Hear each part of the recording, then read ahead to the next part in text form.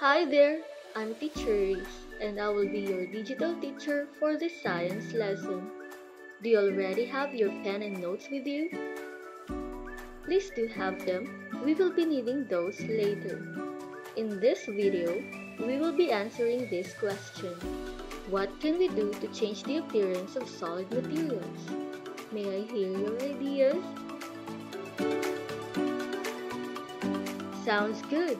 Before we answer that, let's talk about solids. Solid is one of the states of matter. We could find them everywhere, in our homes, school, church, parks, malls, fields, they are everywhere. Solids have definite shape and volume. They hold or keep their own shape and size.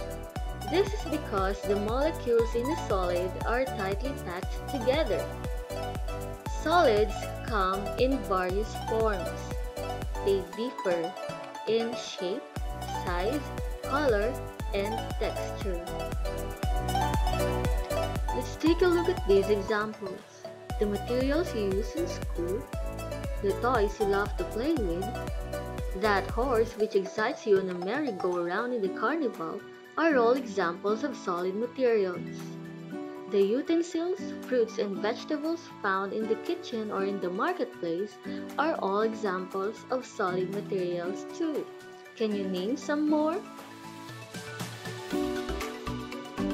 Great!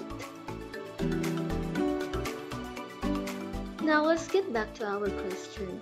What can we do to change the appearance of solid materials?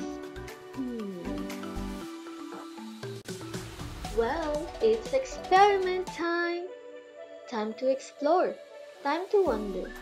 For this experiment, we will be needing the following materials. Paper, paper clip, plastic bottle, whole peppers, and let's include the things which could be found around which may be helpful in changing the appearance of solid materials. Here are the steps which we will follow. Observe the given materials before and after the action. Second, identify the action taken to change the size, shape, or texture of the given materials. Third, record your observations. I will be performing the experiment, but I will be needing your help as we have to record the observations while we go on with the experiment. As much as possible, your table should look like this one.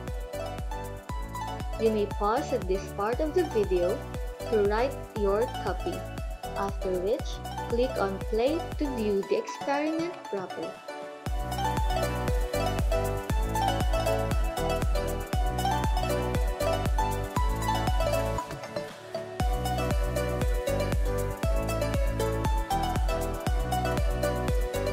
Alright, let's begin.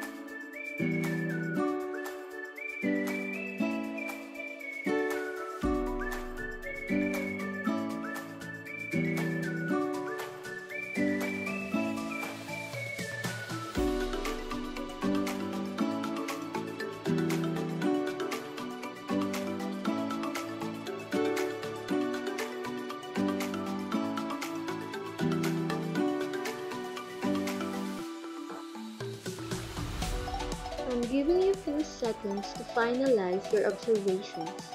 Make sure to specify the action done to that material and the effect or change which has happened to that material.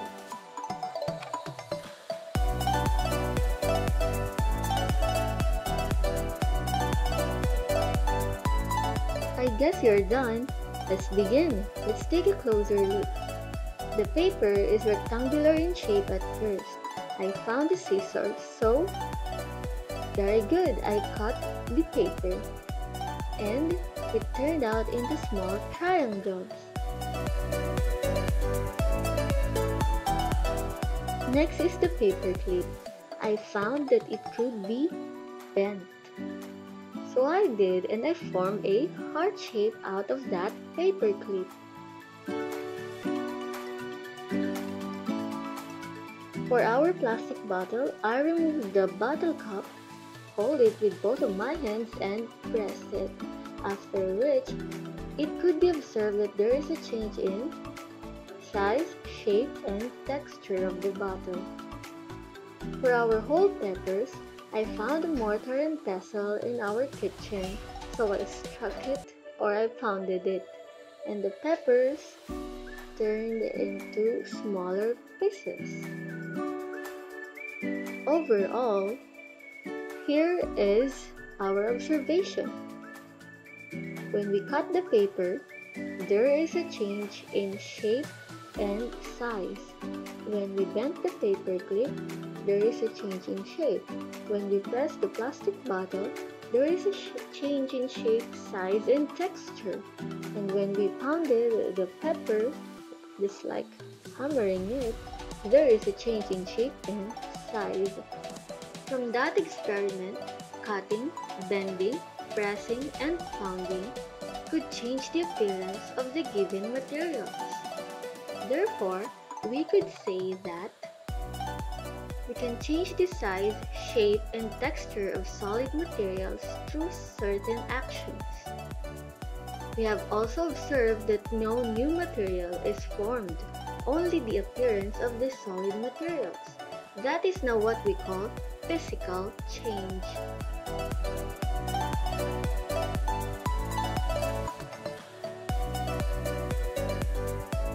Now, there are also other ways by which we could still change the appearance of solid materials just like that of the paper.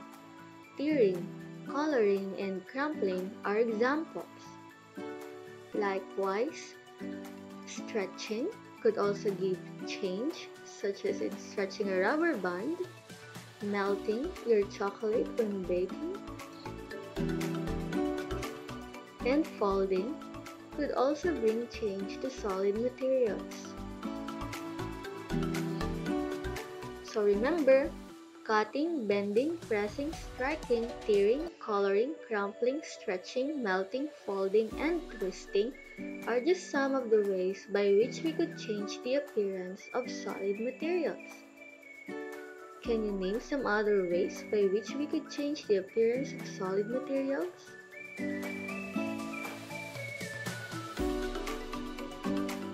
Great!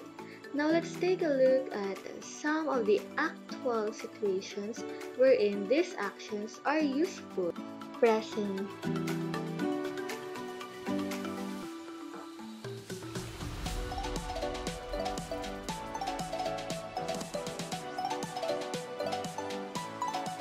Bending.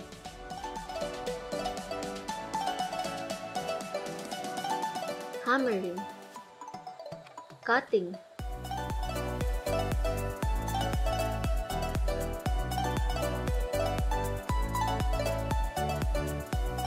Now it's your turn. Answer the questions on these slides. Which of the following could be pressed?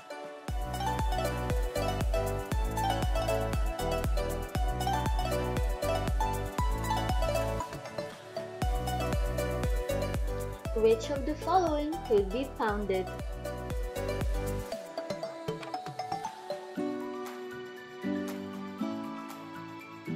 Which of the following could be cut?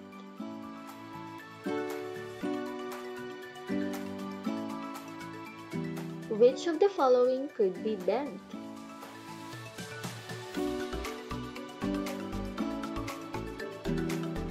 Which of the following could be stretched?